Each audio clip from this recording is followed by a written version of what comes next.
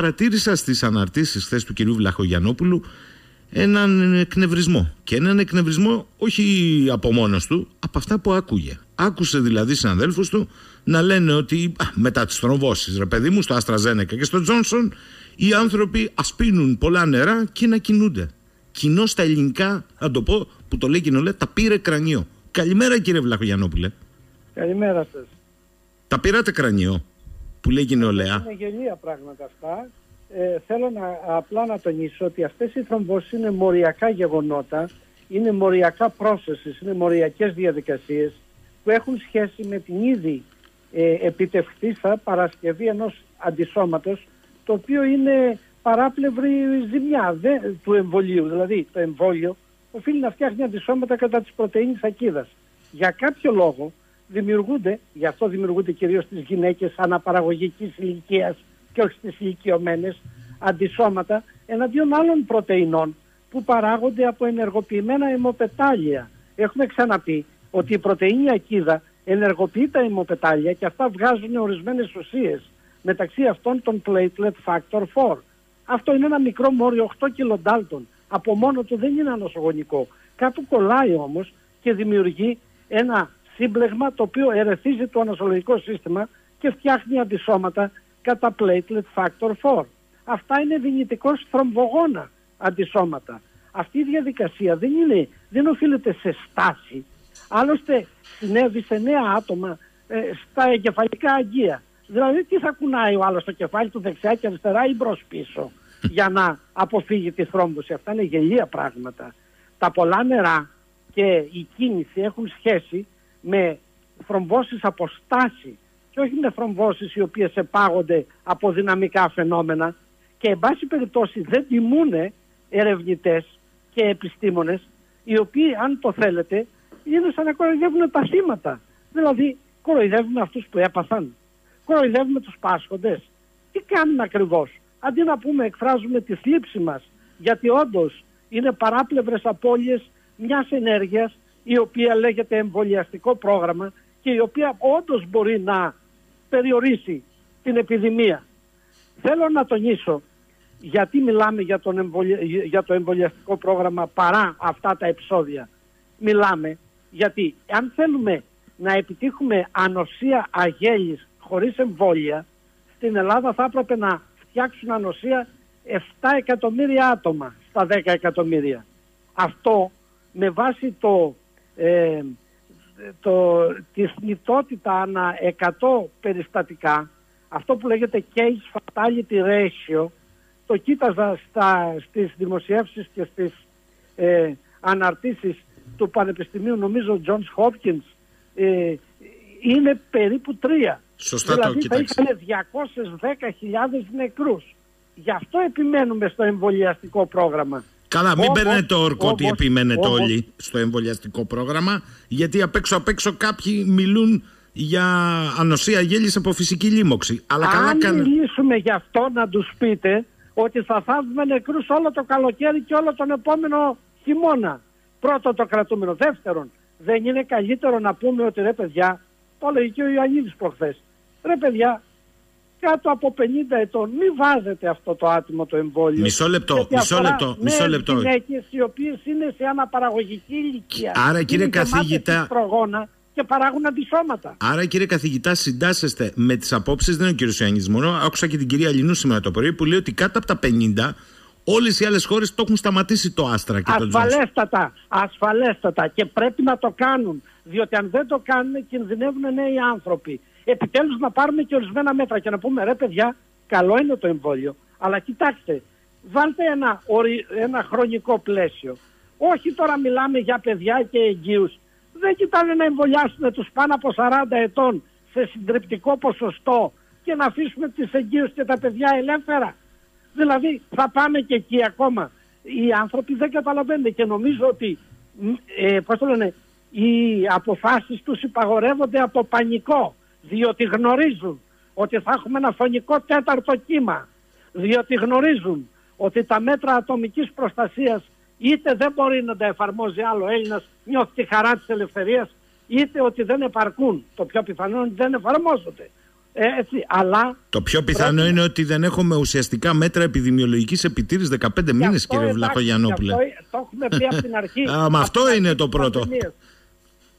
Δυστυχώς αυτό είναι το πρώτο λέω. Δυστυχώς και προσπαθούμε να καλύψουμε τα δεν έχουμε με απολυτότητες του τύπου η πανάκια για όλα.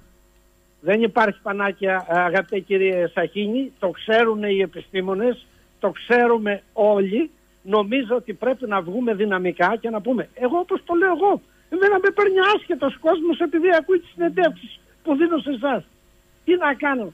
Δεν μπορώ πραγματικά να ανταποκριθώ σε όλους. Λυπάμαι, αλλά δεν μπορώ. Ας πούμε αυτή τη στιγμή θέλησα να αφιερώσω ακριβώς γιατί υπάρχει θυμός στον κόσμο και θα μας πάρουν με τις πέτρες να αφιερώσω λίγα λεπτά μιλώντας σε εσάς, διακόπτοντας μια σημαντική δουλειά γιατί αύριο μιλάω μεθαύριο σε ένα meeting ας πούμε και δεν έχω ετοιμάσει την ομιλία μου καλά καλά. Δεν μου λέτε κύριε Βλάχο Γιαννόπουλε, γιατί δεν κάνουν λοιπόν αυτό που κάνετε εσείς, που λέτε, που διαχωρίζετε, που μιλάτε ανοιχτά, χωρίς φόβο, δεν δημιουργείται σύγχυση. Λέτε αυτό πρέπει να πάει εκεί, εκείνο πρέπει να πάει αλλού. Πρέπει να δούμε. Είναι τόσο δύσκολο να γίνει αυτό; Μπορείτε να μου το εξηγήσετε; Δεν το καταλαβαίνω. Εγώ θεωρώ ότι είναι εθελόδουλοι ή βλάκες. Ή βλάκες. Δεν καταλαβαίνουν ότι αυτό που λένε ακαταδίωκτο τώρα υπάρχει, αύριο μπορεί να μην υπάρχει. Και καλό είναι να τηρούν πρακτικά για ό,τι λένε, για θα απολογηθούν. Εντάξει, δεν καταλαβαίνω τα Ναι, αλλά δεν είναι. Δεν είναι, είναι στα όρια της συνταγματικής νομιμότητας. Μισό λεπτό. Δεν είναι, δεν είναι ένα ερώτημα και για την υπόλοιπη επιστημονική κοινότητα οι στάσεις οι οποίες απέναντι σε αυτούς που λέτε ακαταδίωκτους. Με εξαίρεση εσάς και κανένα δυο ακόμη. Κοιτάξτε, εγώ, εγώ που δεν έχω να λυπηθώ, να φοβηθώ τίποτα, που έχω γνώση των δυνάμεών μου των διανοητικών, εγώ δεν θα καταδεχόμουν. Θα με προσέβαλε αυτή η διαδικασία και θα έβγαινα και θα έλεγα κοιτάξτε, κρατήστε πρακτικά, ενημερώστε τα κάθε εβδομάδα, αφήστε να τα υπογράφουμε αφού τα κοιτάξουμε πρώτα, διότι με βάση τα πρακτικά θέλω να κρυθώ από τον ελληνικό λαό. Όχι έτσι χήμα, ακαταδίωκτο. Πραγματικά θέλουμε να μας δώσουν πρακτικά και θέλουμε να δούμε τι λέει ο καθένας εκεί μέσα. Όχι στα κανάλια. Ε, ρωτάει ένας ακροατής, καλημέρα στο Λεβέντι, έτσι το γράφει, τον κύριο Βλαχογιανόπουλο. Επειδή σε κάποιους συγγενείς μου περίπου 15 ημέρες μετά το εμβόλιο το άλλο της Pfizer άνοιξε η μύτη τους, σημαίνει κάτι αυτό, είναι παρενέργεια; Το έχουμε δει και αυτό. Δεν το έχουμε κατανοήσει. Υπάρχει και μία ομερτά σε σχέση με τα εμβόλια, τα mRNA. Δεν καταλαβαίνουμε γιατί. Πραγματικά υπάρχουν μηνοραγίες σε γυναίκες και έντονες ειρηνικές ε, ρινοραγίε 15 μέρες μετά το εμβόλιο. Ξέρετε τι σημαίνει 15 μέρες; Ότι έχουν φτιάξει αντισώματα από το εμβόλιο και άλλα αντισώματα τα οποία ήταν unwanted. Δεν τα θέλαμε πιθανώς.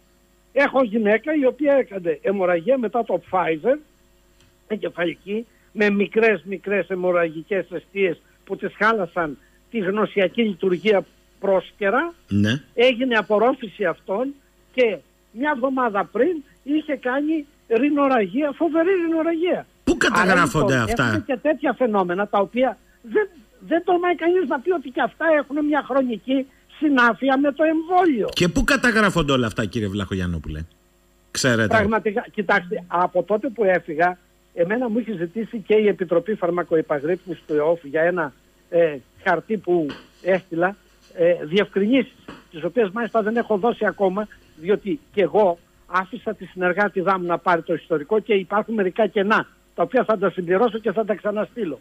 Φαίνεται ότι η δική μου η απουσία και η θορυβόδης, ε, πώς το λένε, παρέτηση, άλλαξε κάτι. Πιθανώς καταγράφονται πολλά από αυτά. Μετά από ένα ξεσκαρτάρισμα βέβαια, το οποίο δεν ξέρω τι θα αφήσει. Πιθανώς όμως κύριε Σαχίνη κάτι παραπάνω καταγράφεται. Ε, τι καταγράφεται, κυρία Πρόεδρος, χθες είπε ότι η κίτρινη κάρτα δυστυχώς καθυστερεί γιατί πολλές φορές τα μαθαίνουμε από τα κανάλια, αλλά δεν φτάνει. Δεν συμπληρώνεται. Και η κίτρινη κάρτα, κύριε Βλαχογιανόπουλε, το ξέρετε καλύτερα από μένα. Είναι από τη δεκαετία του 80, δεν είναι τώρα. Δεν την ανακαλύψαμε λόγω εμβολίων Όχι, τωρινών. τώρα πρέπει να, να κάνεις registration, να γραφτείς ότι σε ξέρουν ότι είσαι ο τάδε, ο οποίος στέλνει μια κίτρινη κάρτα. Εμένα τα έκαναν οι συνεργάτε μου. Εγώ δεν ξέρω να τα κάνω αυτά τα πράγματα. Αλλά σίγουρα επ' ονόματι μου έχουν στείλει κίτρινες κάρτες και ξέρω ότι τελικά η διαδικασία δεν είναι τόσο δύσκολη. Λοιπόν, κοιτάξτε, θέλω και εγώ να πω ότι ναι. εάν το ιατρικό σώμα αμελεί, να στείλει κίτρινες κάρτες έχει μεγάλη ευθύνη, διότι πλέον δεν είναι στα χέρια των εταιριών η παρακολούθηση των παρενεργειών. Έχουμε περάσει σε φάση 4. Θέλαμε, δεν θέλαμε, η φάση 3 ήταν πάρα πολύ περιορισμένη. Οι εταιρείες ζήτησαν μάλιστα να μην διώκονται αστικά, διότι ξέρανε ότι δεν έχουν μελετηθεί τα προϊόντα τους επαρκώς σε φάση 3 και αυτό έγινε τα κράτη γιατί το δέχτηκαν; Το δέχτηκαν γιατί τα ίδια απαιτούσαν γρήγορη αντιμετώπιση της πανδημίας δεν είχαν πρωτοβάθμια φροντίδα υγείας από την Αμερική μέχρι την Ελλάδα. Να τι αλήθεια. Για να καλύψουν τη δικιά τους αβελτηρία και το δικό τους έλλειμμα. Ακριβώς γι' αυτό λοιπόν είπανε δεν πειράζει. Ε, θα ζήσουμε το, με το εμβόλιο, θα τα ξεπεράσουμε όλα. Πάλι η αίσθηση ότι με ένα γιουρούσι τα λύναμε όλα. Εν πάση περιπτώσει, οι εταιρείες ξέρανε και γι' αυτό ζήτησαν α, α, πώς το λένε, ανοσία, ανοσία, immunity, ε, ακαταδίωκτο από αστικές ευθύνες γιατί γνώριζαν ότι τα προϊόντα τους δεν έχουν μελετηθεί επαρκώς. Τώρα είμαστε σε φάση 4. Τώρα οι, φαρμα... οι επιτροπές φαρμακοεπαγρύπνησης όλου του κόσμου έχουν την τεράστια ευθύνη να καταγράψουν τα δεδομένα λεπτομερώς. Συμμετέχουμε όλοι σε πείραμα και δεν το έχουμε καταλάβει. Θα καταγράψουν, κοιτάξτε, ακόμη και η ασπιρίνη έχει ε, ανεπιθύμητα συμβάντα. Μισό, μισό, μισό. μισό καταγράφονται ακόμη και σήμερα. Μισό λεπτό όμως, κύριε Βλαχογιανόπουλε. Γιατί μου το έγραψε πολύ εύστοχα ο φίλος μου ο Κούλης από τη Θεσσαλονίκη. Αυτός ο Κούλης. Μου το έγραψε. Ναι, έχετε δίκιο σε αυτό που λέτε. Όμως, όταν με πιάνει πονοκέφαλος, κύριε Βλαχογιανόπουλε, θα πάρω την ασπιρίνη των τεπών εν γνώση μου ότι μπορεί να έχει και παρενέργεια. Εδώ είναι πρόληψη. Δεν παίρνω την ασπιρίνη για να μην με πιάσει πονοκέφαλος, την παίρνω όταν έχω πονοκέφαλο. Εδώ είναι πρόληψη. Δεν πάει έτσι. Ακούστε, έχετε δίκιο σε αυτό. Απλώς πρέπει και ο κόσμος να καταλάβει ότι αν θέλουμε ποτέ να βγούμε από την πανδημία, το εμβόλιο χρειάζεται, κακά τα ψέματα. Προφανώς. Αλλά να λέμε όπως έχουν τα πράγματα. Μάλιστα. Να ενημερωθεί. Ξέρετε, κύριε Σαχίνη, εγώ δεν πιστεύω στην υποχρεωτικότητα του εμβολίου, θα σας το πω καθαρά. Πιστεύω στη στάθμιση κινδύνου. Πρέπει ο κάθε πολίτης να σταθμίσει τι κίνδυνο έχει να μολυνθεί ε, χωρίς εμβόλιο και τι κίνδυνο έχει να, και τι πιθανότητα έχει να προστατευτεί αποτελεσματικά με το εμβόλιο. Η στάθμιση αυτή θα έρθει μόνο όταν ο πολίτης γνωρίζει και όταν το κράτος τον βοηθάει να κάνει. Α, γιατί από μόνος του δεν μπορεί, πρέπει να συζητήσει με τον γιατρό. Μάλιστα. Προφανώς δεν μπορεί. Και γι' αυτό το ιατρικό σώμα έχει τεράστια ευθύνη. Και θα πρέπει να είναι α, να ανταποκριθείς σε αυτή την ευθύνη με διαφάνεια, με διάβια και με θάρρος. Μπείτε λίγο στα πρακτικά γιατί έχω βροχή μηνυμάτων με το που σας ακούσαν. Ε, χθες μας βοήθησε πολύ και ο κύριος Γεροτζιάφας. Επικαλούμε λοιπόν τώρα και τη δική σας άρρωγη εδώ. Με ρωτούν εδώ πολλοί κόσμος. Μπορείτε λέει καταρχάς να μας πείτε γιατί νοσούν οι άνθρωποι μετά το εμβόλιο με συμπτώματα ίωσης ως παρενέργειος του εμβολίου; Και ναι. γιατί δεν συμβαίνει το ίδιο με το εμβόλιο της γρήπης. Ναι, γιατί τούτο το εμβόλιο και κυρίως η πρωτεΐνη ακίδα είναι έντονα τοξική και προκαλεί την παραγωγή κυταροκινών, ουσιών δηλαδή που ευωδώνουν τη φλεγμονή. Αυτές οι ουσίες κάνουν πυρετό, κρυάδες, κακουχία, μερικές φορές υπνηλία, κυρίως ο TNF. Και αυτές οι ουσίες είναι που δημιουργούν αυτή την αίσθηση του κρυολογήματος. Απαντώ σε αυτό. Μάλιστα. Παρακάτω. Σιγά σιγά κομμάτι κομμάτι. Α, γιατί έχω πολλά ερωτήματα γι' αυτό. ναι, λάτε. Λοιπόν, το ένα είναι αυτό. Άρα λοιπόν νοσούν επειδή ε, η πρωτεΐνη ακίδα έχει μια τοξικότητα. Απλώς είμαστε τυχεροί εν μέρη, διότι η πρωτεΐνη ακίδα δεν κυκλοφορεί πάρα πολύ μετά το εμβόλιο. Παραλαμβάνεται γρήγορα από τα δεντρετικά κύτταρα, κόβεται σε μικρά κομμάτια και παρουσιάζεται στα κύτταρα του του ειδικού ανοσολογικού συστήματος, τα τάφ και β λεμφοκύτταρα, αφού τα δεντρωτικά κύτταρα μετακινηθούν από το σημείο της ένεσης μέχρι τον επιχώριο λεμφαδένα. Ας πούμε, αν το κάνουμε στον μπράτσο, πάνε στη μασχάλη. Εκεί παρουσιάζονται appropriately, όπως λένε οι Εγγλέζοι συγγραφείς, κατάλληλα στο ανοσολογικό σύστημα. Δεν θα πω λεπτομέρειες για το τι θα πει κατάλληλα. Τότε τα τάφ και β λεμφοκύτταρα γίνονται από naive, από αθώα, γίνονται armed effector ε, ο, άμεσα οπλισμένα, άμεσα δραστικά κύτταρα διεγείρονται λοιπόν και φεύγουν από το λεμφαδένα και πάνε και συναντάνε τον ιό οπουδήποτε υπάρχει. και μεν τα ταφ κύτταρα σκοτώνουν κύτταρα μολυσμένα με τον ιό, τα β κύτταρα παράγουν αντισώματα, πάνε στο μυαλό των οστών. Εκεί, εκεί κάθονται και παράγουν αντισώματα από το μυαλό των οστών, τα οποία πλημμυρίζουν όλο το σώμα και όπου βρουν τον ιό τον μπλοκάρουν να εισέλθει στα κύτταρά μας. Με αυτά τα δύο όπλα λοιπόν το ανοσολογικό σύστημα ε, επιτηρεί την ιική λίμωξη και την καταστέλει, την περιστέλει. Αυτό λοιπόν σαν πρώτη φάση δημιουργεί ορισμένα πράγματα όπως οι κυταροκίνες την πρώτη στιγμή που θα συναντήσει η πρωτεΐνη ακίδα το σώμα μας απελευθερώνεται και κάνουν ε, κάτι σαν γρήπη. Από εκεί και μετά με ένα υγιές ανοσολογικό σύστημα υποτίθεται ότι τελειώνουμε.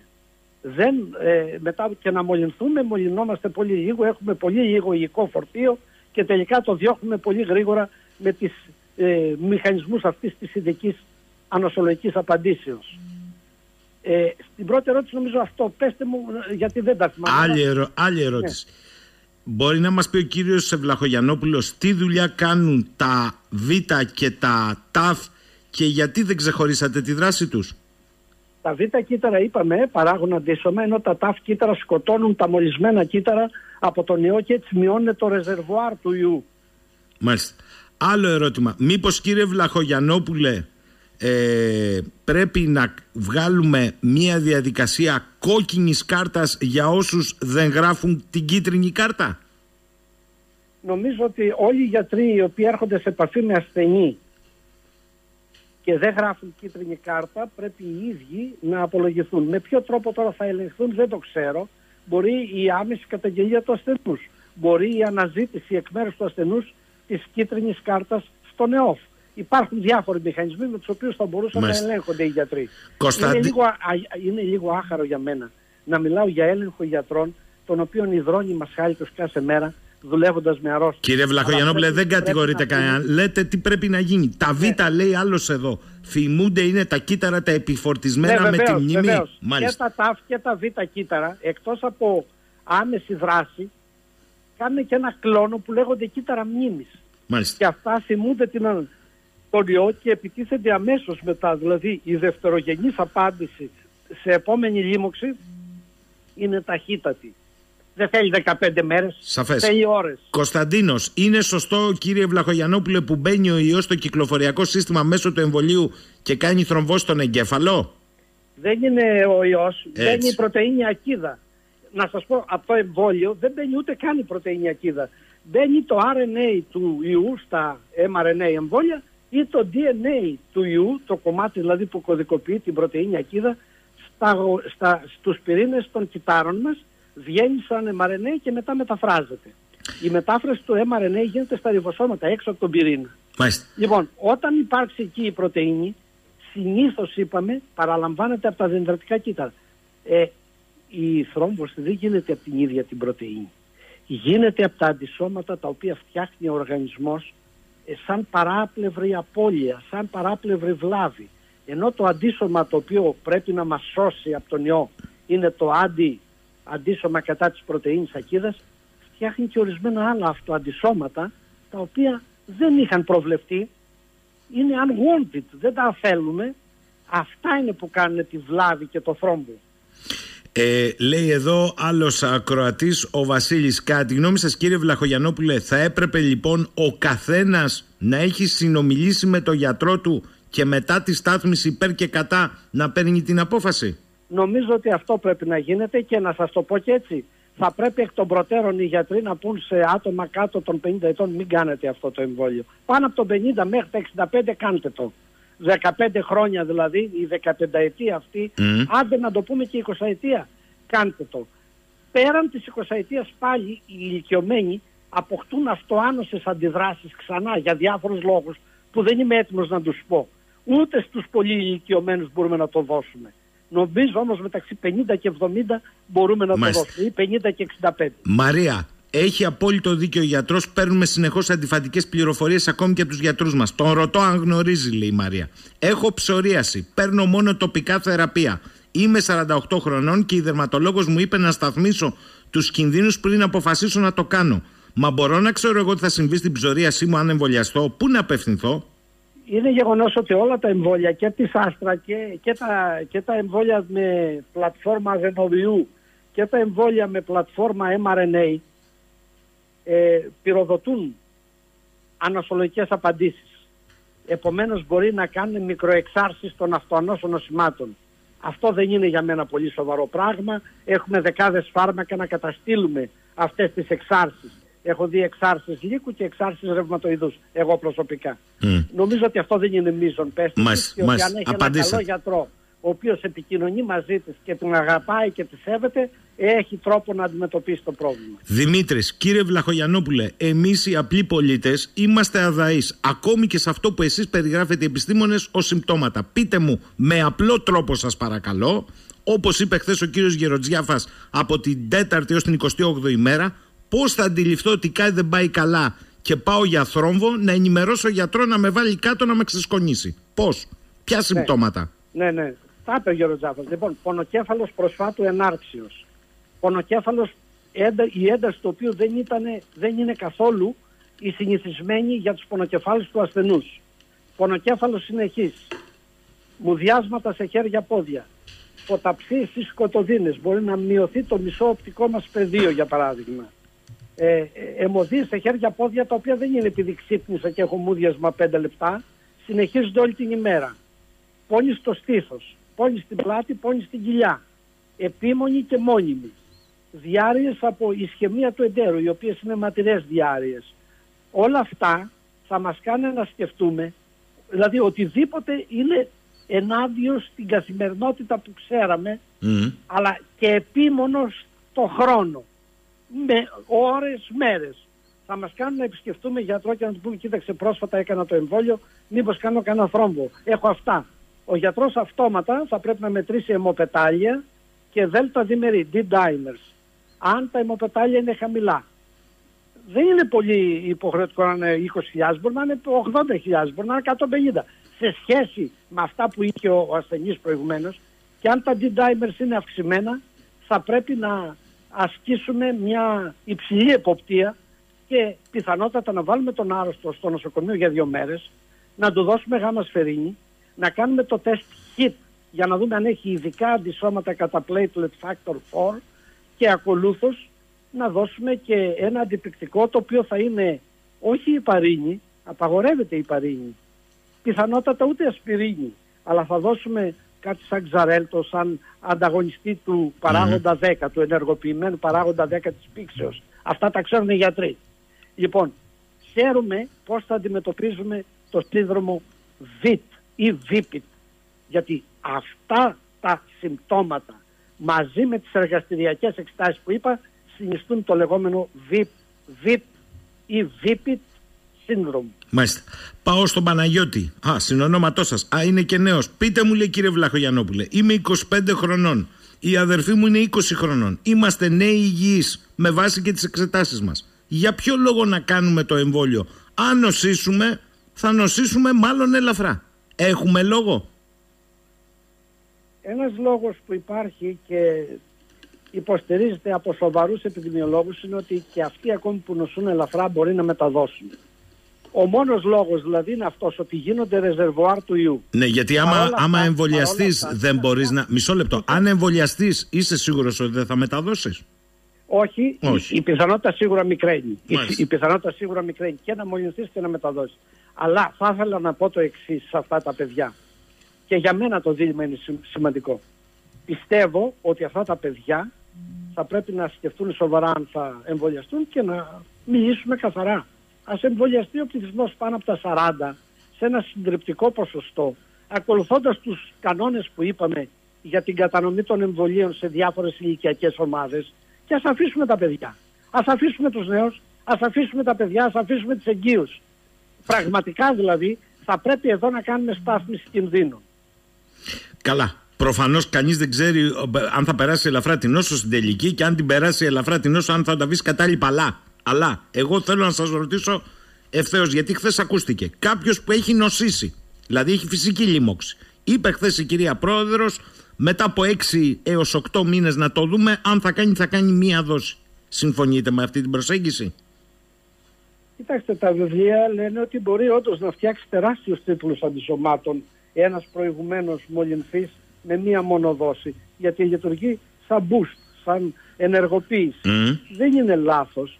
Τώρα, αν είναι στους 8 μήνες, αν είναι στους 3 ή στους 4, πραγματικά είναι κάτι που είναι αποτέλεσμα ε, μετρήσεων και παρατηρήσεων. Δεν μπορούμε να το πούμε το Θεό. Ο Σπύρος, ε, ο κύριος Βλαχογιανόπουλος μπορεί να μου εξηγήσει θρομβώσεις, σπάνιες μεν, αλλά θρομβώσεις με το εμβόλιο. Θρόμβωση και ο ιός. Υπάρχει πληθυσμιακή συσχέτιση; Ε, οι θρομβώσεις από το εμβόλιο είναι πολύ λιγότερες από τις θρομβώσεις που κάνει η βαριά ιική λίμωξη. Η βαριά ιική λίμωξη, όχι η ελαφρά. Ναι. Η οποία στο 30% κάνει θρομβώσεις στα πνευμονικά αγγεία στο 30%. Επομένως, οι θρομβώσεις του εμβολίου είναι πολύ λιγότερες. Μάλιστα. Κώστας, έχω φλεβίτη και στα δύο πόδια εδώ και 40 χρόνια χωρίς να πονάω. Είμαι 64 χρονών. Κάνω εμβόλιο; Κάνετε εμβόλιο και η φλεβίτιδα καθώς και όλοι οι άλλοι παραδοσιακοί παράγοντες κινδύνου για θρόμβωση δεν σχετίζονται με τη θρόμβωση που επάγεται από το εμβόλιο. Το εμβόλιο έχει δικούς του μηχανισμούς να κάνει θρόμβωση είτε έχετε φλεβίτιδα είτε είστε η Ναόμι Κάμπελ και έχετε θαυμάσια πόδια. Δεν έχει καμία σχέση η φλεβίτιδα του εμβολίου με τις διαταραχές του φλεβικού συστήματος σε ηλικιωμένα άτομα ή σε άτομα ταλαιπωρημένα με ορθοστασία κλπ. Καμία σχέση. Μάλιστα. Είπαμε ότι είναι βιοχημικό γεγονός και δεν έχει σχέση με τη φλεβική στάση. Μάλιστα. Ο φίλος ο Γιάννης, ο οποίος είναι συνάδελφός σας, γιατρός, θέλω λέει να ρωτήσω τον εξαίρετο κύριο Βλαχογιανόπουλο που μας ανοίγει τα μάτια σήμερα και ας είμαι γιατρός, το εξής. Με δεδομένο, ακούστε κύριε Βλαχογιανόπουλο, το βρίσκω εξαιρετικό ερώτημα. Με δεδομένο ότι οι δοκιμασίες ανείχνευσης των αντισωμάτων δεν είναι ενδεικτικά της ανάπτυξης ανοσίας μετά από το εμβόλιο και πολύ περισσότερο δεν είναι ενδεικτικά της κυταρικής ανοσίας αυτό σημαίνει ότι μπορεί να δώσει κανείς μια απάντηση όπως, για να το πω έτσι με απλά λόγια, οι κλινικές δοκιμές για τα εμβόλια έγιναν με βάση τις δόσεις και την αποτελεσματικότητα δεν υπήρχαν στοιχεία για το να βρεθεί ακριβώς ποιο είναι το επίπεδο των αντισωμάτων. Εσείς τι βγάζετε σαν συμπέρασμα ότι η αποτελεσματικότητα των εμβολίων δεν αξιολογήθηκε με τα εξουδετερωτικά αντισώματα; Α, μισό λεπτό, μισό, μισό λεπτό. Το λέω λέει γιατί κάπως έτσι το διατύπωσε ο Μαγιορκίνης. Α, αναφέρεται στη χθεσινή εκπομπή. Για ναι, πείτε μας. Λοιπόν, ακούστε. Οι μελέτες έγκρισης κάνανε και μελέτη εξουδετερωτικών αντισωμάτων. Προσέχετε κάτι. Εάν τα αντισώματα δεν είναι εξουδετερωτικά, μπορεί να ευωδώσουν την επιλήμωξη πολλών οργάνων από τον ιό. Οι εταιρείες τρέμανε αυτά τα γεγονότα. Επομένως, εξουδετερωτικά αντισώματα μετρήθηκαν μαζί με τη μέτρηση της αποτελεσματικότητας. Μάλιστα. μαζί, μετρήθηκαν. Μάλιστα. Δηλαδή, Γι' αυτό είπα εγώ χθες ότι η ατάκα ήταν άτυχη του Μαγιορκίνη. Θα τεινάξει τα εμβολιαστικά προγράμματα στον αέρα με αυτό που είπε. Ναι, νομίζω ότι το παράκα. Ναι, άκουσα και εγώ αυτή τη δήλωση, η οποία ήταν τρέχα γύρευε, αλλά η ουσία είναι ότι οι έγκρισει εμπεριέχουν με, εγώ τις κοιτάζω τώρα γιατί αύριο mm. κάνω ένα μάθημα ας πούμε σε ένα σεμινάριο, σε, όχι σε, ένα, σε ένα συνέδριο ε, έχουμε αναλάβει να διοργανώνουμε κάθε δύο χρόνια ε, Summer School of Immunology και μιλάω για αυτό το θέμα. Λοιπόν, οι μελέτες έγκρισης εμπεριέχουν δεδομένα εξουδετερωτικών αντισωμάτων και δεν το κάνανε τυχαία. Το κάνανε διότι υπήρχαν άλλα εμβόλια για το SARS-CoV-1 τα οποία ε, ευόδωναν την ιική λίμωξη γιατί τα αντισώματα δεν ήταν εξουδετερωτικά. Σαφές. Κάνανε δηλαδή αυτό που λέγεται antibody dependent enhancement. Σαφές, σαφές. Τελεία και παύλα. Με συγχωρείτε εδώ κύριε Βλαχογέννη που θέλω να κάνω ένα σχόλιο. Αυτό αφιερωμένο εξαιρετικά σε κάποιους δίθεν που θύχτηκαν χθες. Πάρτε να έχετε. Λοιπόν, θα το πω εγώ, δεν το λέτε εσείς. Ακούστε, έχουμε πολλά ερωτήματα και θέλω να απαντήσετε γρήγορα σε όλα διότι τελικώς αυτό που θα έπρεπε να κάνει οργανωμένα η πολιτεία το κάνουν δύο-τρει γιατροί στην Ελλάδα. Ένας εξ αυτών ο κ. Βλαχογιανόπουλος. Ρωτήστε, λέει, σας παρακαλώ, το εξαίρετο κύριο καθηγητή, αν βλέπει ότι οι άνθρωποι με ακόμη και λίγα παραπάνω κιλά αρρωσταίνουν από COVID πιο εύκολα. Ξέρουμε ότι οι υπέρβαροι αρρωσταίνουν περισσότερο και χειρότερα. Αλλά έχει τύχει και στον κύκλο μου έχουν αρρωστήσει μόνο τα άτομα με έστω και λίγα παραπανήσια κιλά. Τα έχω κι εγώ, Δημήτρη μου. Όλοι οι υπόλοιποι ούτε καν συμπτώματα. Δημήτρης από Ρότερνταμ. Κοιτάξτε, ε, η, και οι αντισωματικές αποκρίσεις δεν είναι καλές σε παχύθαρκους και η έκβαση της νόσου έχει αποδειχτεί ότι σε βαριά παχυσαρκία είναι κακή. Σε μέτρια παχυσαρκία δεν υπάρχουν δεδομένα για να σας απαντήσω. Μάλιστα. Μην μη, μην αναλώνεστε, άλλο απαντήσατε. Άλλος Δημήτρης. Επειδή χθες ε, άκουσα, λέει την ο κ. Βλαχογιανόπουλος και άκουσα, θα σας το διαβάσω ακριβώς όπως το γράφει, τι τζούφια έλεγε ένας συναδελφός του, ο κύριος Βασιλακόπουλος. Για ρωτήστε τον, υπάρχει εμπιστατωμένη μελέτη που να καταδεικνύει ότι οι εμβολιασμένοι έχουν 90% λιγότερη πιθανότητα να μεταδώσουν τον ιό σε σχέση με τους μη εμβολιασμένους; Υπάρχει τέτοια λέει μελέτη; Δεν, ε, δεν ξέρω εγώ καμία τέτοια μελέτη, όχι. Μάλιστα. Άλλο ερώτημα εδώ φίλου Ακροατή. Κύριε Βλαχιογιαννόπουλε, εάν εγώ έχω νοσήσει και έχω νοσήσει βαριά, μου, μου συνιστάτε να πάω να εμβολιαστώ; Άμεσα όχι, δεν χρειάζεται. Όσοι έχουν νοσήσει βαριά και βγήκανε από τη βαριά νόση έχουν τεράστιους τίτλους αντισωμάτων.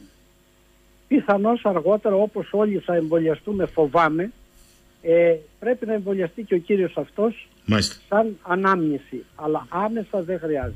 Ο Κώστας μου λέει εδώ, εγώ πάντως λέει ο κύριος Βλαχογιαννόπουλος τον τιμά λέει δεν το ξέρω. Εγώ λέει όμως προκαλώ από εδώ τον κύριο Βασιλακόπουλο να μας τη δείξει εμπεριστατωμένη μελέτη που να καταδεικνύει ότι οι εμβολιασμένοι έχουν 90% λιγότερη πιθανότητα να δώσουν τον ιό σε σχέση με τους μη εμβολιασμένους, γιατί δεν υπάρχει τέτοια μελέτη. Τον προκαλώ εγώ, λέει. Ναι, και εγώ δεν έχω δει για να σας πω, σας το είπα ήδη. Μάλιστα. Άλλο ερώτημα. Κύριε Βλαχογιανόπουλε, αν είμαι, αν είμαι 30 χρονών σε αναπαραγωγική ηλικία γυναίκα, μου συνιστάτε να αποφύγω το Άστρα ή το Τζόνσον και μπορώ να κάνω από τα άλλα; Σίγουρα να αποφύγει αυτά τα δύο εμβόλια. Το δηλώνω πλέον ε, ευθαρσός. Και για τα άλλα εμβόλια ε, 30 χρονών μπορεί να τα κάνει. Έτσι, και τα άλλα έχουν προβλήματα, έτσι. Και τα άλλα έχουν. Αλλά τουλάχιστον με βάση αυτά που ξέρουμε σήμερα μπορεί να τα κάνει. Εγώ θα έλεγα βέβαια ότι να εστιάσουμε σε πληθυσμό πάνω από 40. Επιμένετε σε αυτό. Επιμένω, επιμένω να, να εστιάσουμε σε αυτό τον πληθυσμό και εκεί να κάνει το 60, το 70, το 80%. Όλοι. Αλλά στα παιδιά κάτω από 30 ή 30 οριακά, εάν κάνουν ένα εμβόλιο αυτό να είναι το Moderna ή το, ή το, ή το Pfizer. Και τώρα μεταξύ του Moderna και του Pfizer, το Pfizer έχει και το εξής. Έχει πολυεθυλενογλυκόλη το 45% του γενικού πληθυσμού έχουν αντισώματα κατά πολυεθυλενογλυκόλης. Αυτό δεν σημαίνει ότι θα κάνουν αλλεργία. Η πολυεθυλενογλυκόλη κυρίως ενεργοποιεί το σύστημα του συμπληρώματος και κάνουν αναφυλατοξίνες, δηλαδή κάνουν φράσματα του συμπληρώματος τα οποία λειτουργούν σαν ε, αναφυλατοξίνες, κάνουν αναφυλαξία που σημαίνει οξέα αλλεργικά επεισόδια. Είναι αυτοί που περιέχουν τα υπόθετα, αυτό που περιγράφεται είναι αυτοί... Που περιέχουν τα υπόθετα, αυτό ρωτώ. Είναι ίδια ουσία; Ε, που, ναι, ναι, ναι. ναι, μάλιστα, ναι. Αλλά αυτή είναι ελάχιστη και πρέπει η πολυεθλονογλυκόνη να βρεθεί στο αίμα τους έτσι, ή στους ιστούς τους όχι στην επιφάνεια των βλενογόνων όπως είναι τα υπόθετα Μάλιστα. λοιπόν, λοιπόν η γλυκερίνη είναι τα υπόθετα αλλά η πολυεθλονογλυκόλη είναι κομμάτι, είναι συστατικό πολλών αληφών, οδοντόκρεμων κλπ. Ε, αυτοί δεν κινδυνεύουν παρότι έχουν αντισώματα. Κινδυνεύουν αυτοί που θα βρεθεί μέσα στο αίμα τους διότι τότε ενεργοποιεί το σύστημα του συμπληρώματος και το συμπληρώμα είναι περίπου 50 πρωτεΐνες που η μία ενεργοποιεί την άλλη και το τελικό αποτέλεσμα είναι να κάνουν τρύπες στα, ε, στις μεμβράνες των βακτηρίων και τα βακτήρια να πεθαίνουν με είσοδο νερού και οσμοτική λύση. Αυτό κάνει το συμπλήρωμα ή επίσης οψονινοποιεί, δηλαδή κάνει τα βακτήρια ευένδοτα για φαγωκυτάρωση. Λοιπόν, μερικά φράσματα του συμπληρώματος λειτουργούν σαν αναφυλοτοξίνες. Εκεί μπορεί να οφείλονται οι οξύς θάνατοι σε άτομα που φύγανε μόλις από το εμβολιαστικό κέντρο. Εκεί μπορεί να οφείλονται. Και λένε οι δικοί μας εδώ, παλιό πρόσφατο έμφραγμα επί παλαιού εμφράγματος ε, και δεν μου λες γιατί το παλαιό έμφραγμα είναι αυτό το οποίο ήταν το αίτιο του θανάτου και δεν, με αυτό το παλαιό έμφραγμα η καρδιά συνήθισε να δουλεύει. και δεν είναι αυτό προσφάτως χωρίς Λογικό ερώτημα. Ώρας. Δηλαδή, μην κοροϊδευόμαστε. Αντρέας. Ζούμε μια πανδημία, ναι. ζούμε μια αγωνία. Εγώ ο ίδιος την αντιλαμβάνομαι που μιλάω με αυτή την κριτική στάση. Λέω τα εμβόλια τα χρειαζόμαστε, αλλά μην είμαστε και ε, βασιλικότεροι του βασιλέου. Να κατανοήσουμε ότι δεν, δεν είναι θέμα ούτε του κυρίου Μητσοτάκη, είναι θέμα όλων των κυβερνήσεων. Αφήστε τώρα τα κόμματα εδώ, απαντάτε στον κόσμο. Αφήστε. Λοιπόν, λέει εδώ άλλος ε, ακροατής, ο φίλος ο Αντρέα. Μισό λεπτό, είδα τώρα τι μου κάνατε. Λοιπόν, ε, θεωρείτε κύριε Βλαχογιανόπουλε, με βάση αυτά που ακούγονται, ότι επειδή νομίζαν πολλοί ότι είναι αναπνευστική, ενώ πλήττει στην ουσία τα αγκία ότι από εκεί πρέπει να το ψάξουμε και εκεί πρέπει να δοθεί απάντηση διότι εδώ φαίνεται ουσιαστικά έτσι να λειτουργεί και με τους τρόβους στον εγκέφαλο και με τους τρόβους αλλού. Μήπως εκεί είναι η απάντηση; Κοιτάξτε, η απάντηση είναι εκεί και οι επιστήμονες οι σοβαροί, αυτοί που ασχολούνται με την παθογένεση του συνδρόμου, αυτό κάνουν, μελετάνε αυτά τα φαινόμενα. Δεν είναι κάτι δηλαδή που θα το ανακαλύψουμε εμείς ή ο φίλος ο οποίος κάνει την ερώτηση και σωστή ερώτηση είναι το ξέρουν οι επιστήμονες. Οι σοβαροί επιστήμονες μελετάνε ακριβώς αυτό. Τα αγκιακά γεγονότα που ακολουθούν τη λίμωξη. Σίγουρα βλάπτεται και το επιθυλιακό κύτταρο και ξέρουμε με ποιο τρόπο. Αλλά σίγουρα η ιδιαιτερότητα αυτής της νόσου και από τον πνεύμονα δεν είναι η κλασική εικόνα της πνευμονίας όπου γεμίζουν οι κυψελίδες νερό και κάνει κόπωση αναπνευστικών μειών ο ασθενής. Εδώ έχουν υποξία φοβερή, Μάλιστα. υποξενία φοβερή και λένε δεν νιώθω τίποτα. Και σε λίγο πεθαίνουν. Δηλαδή, ενώ εάν είχαν κάνει κόπο. Όπου υπάρχουν άσε του υποδοχής, τέτοιοι υποδοχή, μέχρι και στα νευρικά κύτταρα, ε. Όπου υπάρχουν τέτοιοι υποδοχή, μπορεί να εισέλθει ο ιό. Μάλιστα. Σαφές αυτό που λέτε. Άλλος, Γιάννης. Κύριε Βλαχογιανόπουλε, λέει, μην γελάσετε, αλλά εγώ θέλω να σας το πω. Στο χωριό μου η συντριπτική πλειοψηφία των οσούντων είναι μη καπνίζοντες. Τι είναι αυτό ρε παιδιά τώρα; Έχει καμιά σχέση λέει αυτό; Ναι, φαίνεται, φαίνεται ότι οι, μη, οι καπνιστές υποεκπροσωπούνται σε όλες τις κορτές ασθενών με COVID. Είτε είναι ελαφρά πάσχοντες είτε είναι βαρέως πάσχοντες. Ε, δεν ξέρουμε, ο κύριος Πουλάς έχει ορισμένες ε, θεωρίες περί αυτού. Ότι δηλαδή. Καλά, εντάξει. Η, ναι, ότι, εντάξει, μία, μία, μία προσέγγιση. Παρακάτω, άλλο, άλλο, άλλο. Γιατί έχω πολλά. Ε, Μιχάλης, η έλλειψη ενζήμου G6PD είναι ασύμβατη με κάποιο τύπο εμβολίου; Ε, από, δεν το ξέρω το θέμα, δεν το έχω κοιτάξει. Νομίζω ότι δεν είναι, αλλά δεν το έχω κοιτάξει. Μάλιστα. Άλλος, Γιώργος, είμαι αλλεργικός, λέει.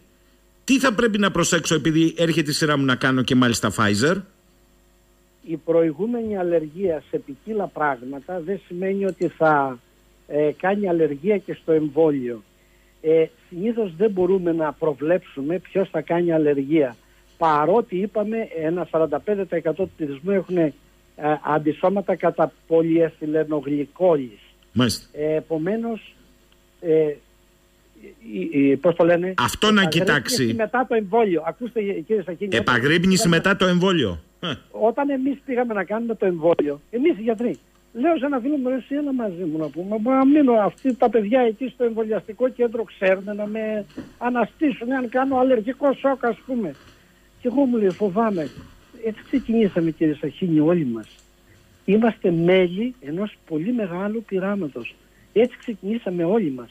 Εγώ φοβούμενος πήγα. Δεν πήγα με αθώα την καρδιά. Διότι ήξερα ήξερα για την πολυεθελονογλυκόλη. Δεν μου λέτε γιατί δεν κοιτιέται, κύριε Βλαχογιανόπουλε. Ναι, σαφές είναι πολύ ωραία αυτά που λέτε, αλλά ακούστε. Πρακτικό ερώτημα μου γεννήθηκε ακούγοντάς σας. Γιατί λοιπόν δεν κοιτάνε την ευαισθησία της πολυεθιλογλυκόλη, αν το είπα σωστά, ε, μόνο από εμπειρία δεν υπάρχει τρόπος να κοιταχτεί αυτό; Δηλαδή, ο Γιώργος που είναι αλλεργικός, μήπως θα έπρεπε να γίνει μια μέτρηση πολυεθιλογλυκόλη. Κοιτάξτε, θα πρέπει, ε, ε, δεν μπορούμε να το κάνουμε εύκολα αυτό. Α, δεν μπορούμε να το είναι κάνουμε. δύσκολο. Δεν, δεν είναι δηλαδή ε, species ή, ή tissue specific φαινόμενο. Δηλαδή ναι, δεν, ναι, δεν ναι. μπορούμε να πούμε ότι ο τάδε θα το κάνει, ο τάδε. δεν μπορούμε να κάνουμε in vitro assay. Μάλιστα, σαφές. Θέλει, θέλει προσοχή, είναι αντιδραστήρια. Λοιπόν, Ε, επειδή οδεύουν προς το τέλος, δεν θέλω να σας κουράξω. Ερώτημα της Σταυρούλας, πονηρό ερώτημα, Σταυρούλα, έκανες. Μήπως άλλαξε και έγινε αγκιακή από τη χρήση των εμβολίων. Έλα, ρε Σταυρούλα τώρα. Τι όχι, όχι, όχι. Η νόσος ήταν από την αρχή αγκιακή και δεν την κατανοούσαμε. Αυτό είναι το σωστό. Αυτό είναι το δεν σωστό. την κατανοούσαμε και πραγματικά όσοι λέγανε έχεις πυρετό και δύσπνοια και λοιπά, πάρε το γιατρό στο τηλέφωνο. Μάλιστα. Και ξέρετε ποιοι το έλεγαν αυτό; Κάνανε πολύ μεγάλο λάθος. Νίκος από Ναι. Σουηδία. Καλημέρα κύριε γιατρέ. Έχω περάσει πρόσφατα κορονοϊό χωρίς βαριά συμπτώματα. Θα πρέπει να κάνω το εμβόλιο και μετά από πόσο χρονικό διάστημα. Μετά από 4, 3 με 5 μήνες ίσως χρειάζεται μια δόση εμβολίου για να ανοσοποιηθεί για μεγάλο χρονικό διάστημα. Μάλιστα. Ε, το Τζιόδρα εννοούσατε προηγουμένως Ε, ναι, ναι, δηλαδή ε, του, είχα, του είχα γράψει γράμμα εγώ. Του λέω τι λες τώρα, δηλαδή, ποιο γιατρό να βρει; Αφού ξέρεις πώς λειτουργεί το σύστημα στην Ελλάδα, ποιο γιατρό να βρει; Αντί να εγκαταστήσετε ένα σύστημα επαγρύπνησης των νοσούντων και να πείτε θα τους χρεώσουμε σε γιατρούς, σε γιατρούς της περιφέρειάς τους. Και θα ρωτάνε από το τηλέφωνο. Από το τηλέφωνο δεν είναι υποχρεωτικό να πάτε κατευθείαν στο σπίτι. Ε, έχετε ένα οξύμετρο. Έπεσε το οξυγόνο. Ε, δυσκ- δυσκολείτε να πάτε από το κρεβάτι σας μέχρι το μπάνιο. Έτσι κάνουν τα οργανωμένα συστήματα. Ε, και δεν καταργείς το Sentinel. Ε, δεν το καταργείς; Όχι. Όχι. Ποιος το κατάργησε, ξέρετε; Δεν το ξέρω, όχι. Μήπως αυτός στον οποίο απευθυνθήκατε με γράμμα; Κοιτάξτε, να σας πω κάτι. Δεν τους παρακολουθώ κύριε Σαχίνη. Δεν τους παρακολουθώ γιατί απλά εκνευρίζομαι. Και επιπλέον επειδή θέλω να είμαι επιστήμονας και να κοιτάζω άλλα αντικείμενα. Εγώ παρεπιπτόντως ασχολήθηκα με Ο, αυτό. Εσείς δεν τους παρακολουθείτε, Λόγω- αλλά λέτε Ξέρετε το γιατί κρίσιμο. ασχολήθηκα. Μισό λεπτό, Από την κύριε κοινωνική Βλαχογιανόπουλε. συνείδηση. Έχετε δίκιο. Γιατί ασχοληθήκατε; Για, από την κοινωνική συνείδηση Μάλιστα. που έχω. και Εσείς, πιστεύω ότι ωραία. πρέπει οι γιατροί να είναι πρωτοπόροι. Εσείς στην στέλνετε αντιμετώπιση. επιστολή σε κάποιον ότι έστω και με το τυφο- ε, τηλέφωνο, αλλά επειδή εμείς τα παρακολουθούμε, σε αυτό που στείλατε την επιστολή, τον εθνικό λοιμοξιολόγο, το Sentinel κατέργησε. Αυτό που ζητάγατε εσείς δηλαδή. Καταλάβατε; Πώς θα γίνει Ναι, λοιπόν τώρα; Ναι, ναι. Ε, ε, αν έχω λέει κορτιζόνη έτοιμη, είμαι εντάξει, ο αλλεργικός επανήρθε. Αν κάνετε τέτοια αλλεργία για την οποία σας μιλάω, χρειάζεται αδρεναλίνη, χρειάζεται γιατρό. Α. Εσείς μόνος σας δεν μπορείτε να κάνετε τίποτα. Μάλιστα. Εν κατακλείδη κύριε Βλαχογιανόπουλο, εγώ από την εξαιρετική προσέγγιση σας σήμερα ξέρετε τι κατάλαβα. Εδώ που φτάσαμε, μπρος γκρεμός και πίσω ρέμα, τα εμβόλια ναι μεν δεν είναι πανάκια, είναι ένα όπλο όμως, αρκεί να χρησιμοποιηθεί με το σωστό τρόπο, ακριβώς με τον τρόπο που δεν χρησιμοποιείται. Γιατί όπως σωστά μας είπατε, οι κυβερνήσεις βάλαν κάτω από το χαλί την ανυπαρξία στρατηγικής και πολιτικών, τα φόρτωσαν έτσι, στο εμβόλιο σπανάκια. Τώρα που σκάνε και προβλήματα μη αναμενόμενα, τρεχάτε ποδαράκια μου. Μεγάλος γκρεμός και μικρό ρέμα. Αυτό προκύπτει τελικώς. Έτσι είναι, όπως τα λέτε. Ε, κοιτάξτε να δείτε. Έτσι ακριβώς. Και δεν, δεν είναι μόνο ε, όλες οι κυβερνήσεις, όλη η Ευρώπη... Ε, έχει προφανώς την ίδια όλες. ζημιά, ε. Ε, προφανώς. Άρα, χρήσιμο όπλο εκεί που πρέπει, στοχευμένα, με εμβόλια έχει πάει μπροστά η ανθρωπότητα. Μην, μην πάμε στο άλλο άκρο. Όμως, αυτό προϋποθέτει διαφάνεια, όχι σύγχυση, παρακολούθηση, επαγρύπνηση. Τι προβλέπει, κύριε Βλαχογιανόπουλε, δώστε ένα οδηγό να το καταλάβει ο κόσμος και, εν πάση περιπτώσει, ο κόσμος να σηκώνει το τηλέφωνο, έστω και αν είναι το παραμικρό, έστω και αν ο γιατρός κρίνει μετά ότι αυτό που του λέει είναι μπουρδα. Δεν είναι προτιμότερο να παίρνει τηλέφωνο αυτό και να είναι ενοχλεί. προτιμότερο και αυτό με έχει βασανίσει εμένα. Σας λέω, ετοιμάζω μια ομιλία και δεν θα την τελειώσω μου φαίνεται. Διότι ακριβώς αυτό είναι πολύ θεμελιώδες. Επειδή βγήκα μπροστά με το θέμα της φαρμακοεπαγρύπνησης, μου τηλεφωνούν από όλη την Ελλάδα. Δεν έχω χρόνο. Δηλαδή μερικές φορές λέω, ρε παιδιά, δεν είναι αγενές να με παίρνετε 10 και μισή. Θα σε λίγο θέλω να κοιμηθώ εγώ. Αύριο δουλεύω. Λοιπόν, πραγματικά, το λέω από μέσα μου, δεν το λέω φανερά. Αλλά πραγματικά ε, το κάνω γιατί βλέπω ότι αν έχεις μια κοινωνική ευθύνη, αυτή δεν τελειώνει πουθενά. Δεν, τελειώνει, δεν έχει όρια η κοινωνική ευθύνη του γιατρού. Μόνο αν πεθάνει ή αν είναι πλέον ανίκανος να εκτελέσει τα καθήκοντά του, τότε σταματάει η κοινωνική του ευθύνη. Βέβαια αυτό μας έχει κουράσει, αλλά ελπίζουμε, ελπίζουμε, ελπίζουμε ε, με την ανοσία των εμβολίων, με τα μέτρα προστασίας, αν και φοβόμαστε ένα τέταρτο φωνικό κύμα, ελπίζουμε ότι κάποια στιγμή θα σταματήσουν αυτά. Άμα δεν έχεις και λίγο θετική σκέψη, κάηκες. Και με φάρμακα μου λέει εδώ ο κόσμος. Γιατί με φάρμακα τα οποία δυστυχώς είναι πολύ βραχή το χρονικό διάστημα να παρασκευάσουμε σωστά φάρμακα που καταπολεμούν το replication του ιού. Όλα τα φάρμακα που έχουμε σήμερα λειτουργούν είτε στην αποτροπή της εισόδου του ιού με όχι πολύ καλό τρόπο και όχι καλό αποτέλεσμα, είτε στην αποτροπή των φλεγμονωδών αντιδράσεων που κάνει το σώμα που είναι ε, δυσανάλογα βαριές για την ίδια την υγική λίμωξη. Αυτά προσπαθούμε να περιορίσουμε ε, με τα φάρμακα. Παρ' όλα αυτά πιστεύω και εγώ ότι θα βρεθούν φάρμακα. Σωστά νομίζω επένδυσαν οι επιστημονικές ε, εταιρείες στη δημιουργία εμβολίων α, ε, γιατί μπορούσαν όντως να προηγηθούν των φαρμάκων είναι πολύ νωρίς να παρασκευάσουμε σωστά φάρμακα για τους ιούς. Δύο παρατηρήσεις έχω να κάνω και να κλείσουμε, κύριε Βλαχογιανόπουλη. Η πρώτη.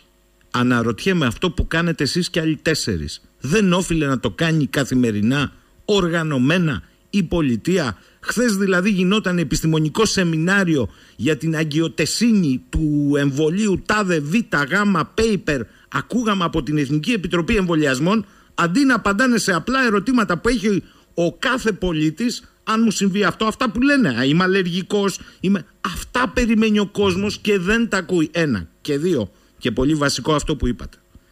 Αν κάποιοι σκέφτονται, εδώ που φτάσαμε, να μας πάνε με ανοσία της αγέλης, που σωστά είπατε εσείς, για τη συντριπτική πλειοψηφία μπορεί να μην σημαίνει τίποτα. Αλλά για ένα μεγάλο αριθμό συμπολιτών σημαίνει αποχαιρέτα το μάταιο τούτο κόσμο τότε μαύρο φίδι που μας έφαγε και που τους έφαγε. Εγώ αυτό καταλαβαίνω. Έτσι είναι, έτσι είναι. Δεν μπορούμε να πάμε με ανοσία γέλης μέσω φυσικής ανοσο... λοιμόξεως, διότι θα θάψουμε πάρα πολύ κόσμο. Κύριε Βλαχογιανόπουλε, θέλω να σας ευχαριστήσω για μια φορά ακόμη, κυρίως γιατί απαντάτε στον κόσμο και στην καθημερινή απλή αγωνία του και όχι σε επιστημονικές διαλέξεις. Αυτά μπορεί να γίνονται αλλού. Σας ευχαριστώ πάρα πολύ. Καλή σας ημέρα. Ευχαριστώ.